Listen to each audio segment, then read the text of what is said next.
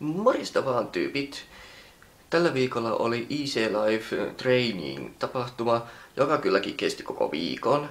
Ja itsekin töiden puolesta osallistuin niihin ottamaan videokuvaa ja valokuvia. Ja olen itse ollut tässä Easy Lifeissa niin keikkatöissä ja työssä oppimassa. Että mulla yhdistyy nämä molemmat tässä nytte. Ja nyt on kyseessä kansainvälinen EU-hanke, että jos haluatte tietää tarkemmin, niin googlatkaa.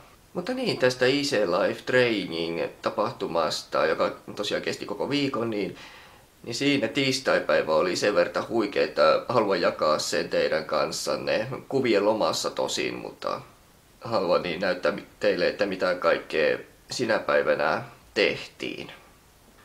Mutta no, eipä muuta kuin nauttimaan kuvista. No niin, päivä aloitettiin niin vierailemalla kotieläinpuistossa Arkadiassa, joka sijaitsee Max-niemessä ja se taas on Kemin ja Simon välissä. Ja tällä hetkellä Arkadiassa saa ihastella pelkästään poroja. Niin kuin näistä kuvista näettekin. Meitä oli siellä niinku reippaanlaisesti. Easy Lifein omaa porukkaa plus sitten niin eh, eri maista tulleet vierailijat, jotka viipyivät täällä koko tapahtumaan ajan, koko viikon. Tässä tälle porolle syötetäänkin jäkälää, ja tämä sarvipää on kuulemma jäätävän perso tuolle jäkälälle. Eli viimeisen päälle ahkera syömään. Siinä kanssa kaveri napostelemassa. Ja meille annettiin myös mahdollisuus taluttaa poroja ja totta kai itse valitsin tämän sarvipään. Kaksi poroa annettiin yhdellä kertaa niin talutettavaksi. Kovinkaan moni ei ollut niin innokas niin taluttama, mutta kun mahdollisuus tuli, niin itse oli, täytyy saada kokeilla. Harvoinpa sitä poromieheksi pääseekään. Ja kun ottaa huomioon, että tuo piha ei ole tuon isompi, ja suurin piirtein meitä oli tuolla 20 henkeä, niin no, porukkaa riitti yhteen paikkaan aika mukavasti. Ja sitten pääsimme myöskin kokemaan poroajelua. Ja nämä kyydissä olijat ovat ulkomaalaiset vierailijat. Ja vierailijat tulleet eri maista. Kävimme kaikki kokemassa tämän poroajelun ja oli kyllä hieno kokemus.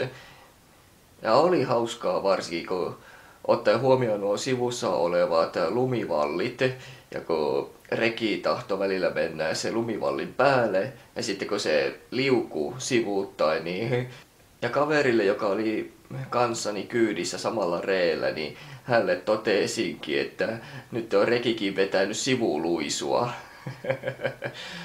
Joo, mutta huomattavasti pienemmässä mittakaavassa kuin mitä autolla vedettäessä sivuluisua. Hieno kokemus oli. Ja iltapäivästä sitten siirryttiinkin sisäsatamalle meren jäälle, jossa nämä vierailijat niin pääsivät äh, suuri piirtein ensi kertaa kokemaan hiihtämistä. Ja itse tästä kuvasta mä oon niin erityisen ylpeä, kun huomioitte tämän hiihtäjän ja sitten tuon pyöräilijän, kun pyöräilijästä tuli tuolla sumea. Myönnän nyt tällä kertaa, että tämä kuva onnistui mulla puolivahingossa, että ottaa tämmöisen niin liikkuvaan kuvaan, että kohde näyttäisi olevan paikalla ja sitten niin taustalla olevat, jotka niin kuin olisi tyyli paikallaan tai liikkuvat, niin näyttävät sumealta. Ja tämä kohde on näin terävä. Tai sitten toisinpäin. Ja tuota itse asiassa koulussa aika vasta opetettiin, että miten tommosia liikkuvia kuvia otetaan. Tosin mä oon ehtinyt vähän se unohtaa, että miten tommosia kuvia otetaan, että mun pitäisi kerrata ja sitten ottaa niitä muutamia kertoja että niin, mä opin sen kunnolla. Mutta niin, takaisin sitten no, näihin kuviin. Vierat pääsivät kokeilemaan myöskin niin lumikenkiä. En kyllä ole itsekään noita lumikenkiä kokeillut. Ei ole ollut tarvetta niin kokeilla. Ja sitten vieraat pääsivät kokeilemaan makkaranpaistoa. Eksoottinen kautta fantastinen kautta upea kokemus heille. En jaksa uskoa, että he kotonaan tuota juuri minkään verta edes tekevät, jos ollenkaan. Epäile vahvasti, että eivät tee ollenkaan tuota. Voin erehtyäkin, mutta epäilen vahvasti. Ja päivän päätteeksi niin päästiin kokeilemaan niin moottorikelkalla ajelua ja kyseisellä niin perävaunulla. Vai miksi tuota nyt kutsutaan? Mitä tuolla moottorikelkalla perässä vedetään? Mä en itse asiassa tiedä tuon nimitystä. Onko tuo niinku... Ei, ei tuo mun mielestä tai itse asiassa tai olla perävaunu.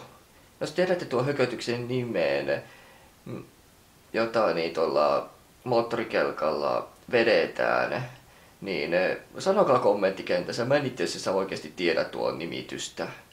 Mä en ole itse koskaan tainnut kuullakaan tuon nimitystä. Mutta joka tapauksessa niin päästiin käymään niin tuon kyydissä. Kaikki, jotka halus, niin pääsivät kokemaan tuon kyydin. Joten totta kai piti itsekin päästä kokeilemaan kyseistä kyytiä. Ja voin sanoa, että jos olisin jättänyt tuon tilaisuuden väliin, niin katuisin sitä tänä päivänä. Tuo kokemus oli nimittäin mitä mahtavin.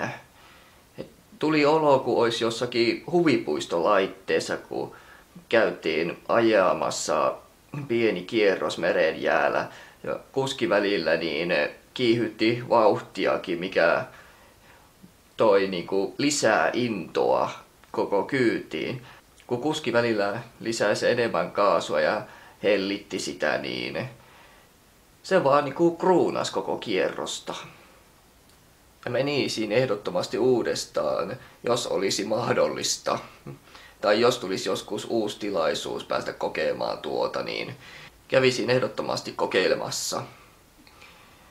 Oli kyllä niin mahtava kokemus, että kaikille turisteille ja kaikille, jotka Kemissä käyvät, niin ehdottomasti käykää kokeilemassa tuota aktiviteettia. Voin nimittäin sanoa, että jos jätätte kyseisen asian kokematta, niin todennäköisesti teitä kaduttaisi jälkeenpäin.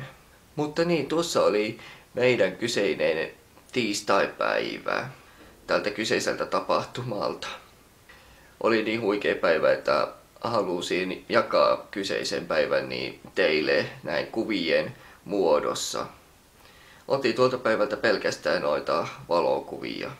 Tässä oli tämmönen erikoisempi yhteistyö My Day video kerrottuna.